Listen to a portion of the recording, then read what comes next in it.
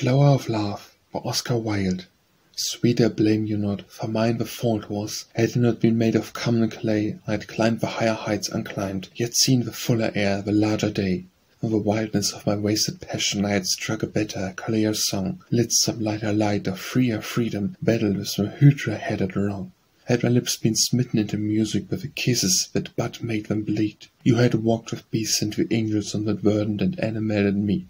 I trod the road with Dante shooting saw the suns of seven circles shine. I perchance had seen the heavens opening as they opened to the Florentine, and the mighty nations would have crowned me, whom crownless known without name, and some orient dawn had found me kneeling on the threshold of a house of fame. I had sat within that marble circle where the oldest bard is as the young, and the pipe is ever dropping honey, and the lyre strings are ever strung.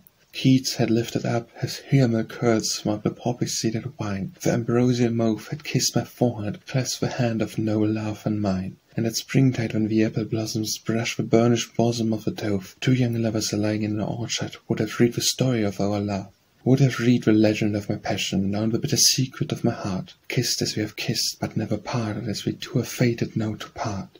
For the crimson flower of our life is eaten by the canker worm of truth, No hand can gather up the fallen withered petals of a rose of hue. Yet I am not sorry that I loved you, ah what else had I a boy to do? For the hungry teeth of time devour, or the silent foot that years pursue. Rudderless we drifted toward a tempest, and when once the storm of youth is past, Without lyre, without lute or chorus, death the silent pilot comes at last. And within the grave is no pleasure, for the blind worm battens on a root, And desire shudders into ashes, and the tree of passion bears no fruit. Ah what else had I to do but love you?